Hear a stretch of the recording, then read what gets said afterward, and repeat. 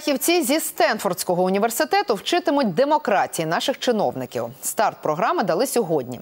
Лекція Френсіса Фукуями, якого називають богом економіки та інтелектуальною рок-зіркою, наповнила під зав'язку клуб Кабміну. Прем'єр України поскаржився, що за два десятки років менталітет чиновників так і не вдалося докорінно змінити. Та все ж спроб урядовці не припиняють. Бог економіки, інтелектуальна рок-зірка Френсіс Фукуяма із лекцією у Києві. Перший урок від нього для наших чиновників – максимальна доступність. Він нікому не відмовляє у фото і неформальному спілкуванні. Я спочатку вчилася на його творах, тепер сьогодні маю шанс е, наживо послухати, задавати питання. Українців Фукуяма вчитиме, як краще долати корупцію. Він певен, нам вдалося вирватися із пострадянських обіймів. Нині країна може стати прикладом для усього світу.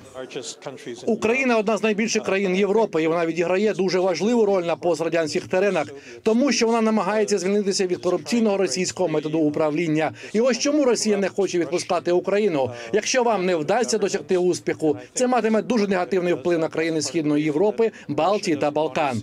Він великий знавець радянського минулого та конфліктів на сході. У 80-х роках працював у Держдепі США та після шаленого успіху статті, де фактично спрогнозував падіння соцтабору, полишив державну службу і став одним із найвідоміших аналітиків філософів у світі.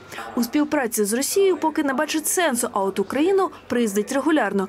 Тепер вчитиме наших держслужбовців, бо досі змінити їхні мізки не вдалося. Бідкається прем'єр. Вони не будуть бачити люди конкретно, що ви робите кожного дня. Вони будуть бачити результат, да, чим ми користуємося, який сервіс надає влада.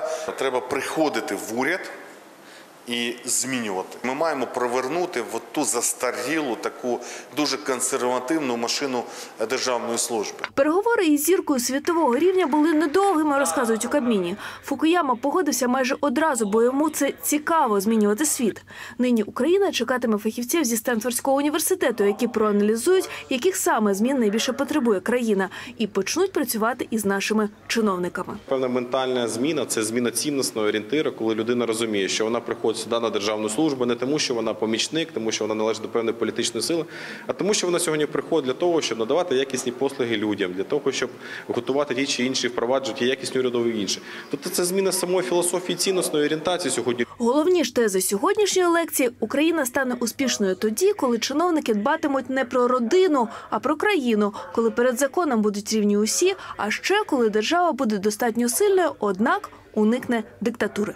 Ольга Чайко, Віктор Зеленков, факти ICTV.